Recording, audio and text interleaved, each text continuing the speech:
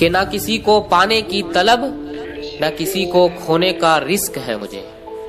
कि ना किसी को पाने की तलब, ना किसी को खोने का रिस्क है मुझे। लूडो में गुजरा है बचपन अपना, मगर पबजी तो इश्क है।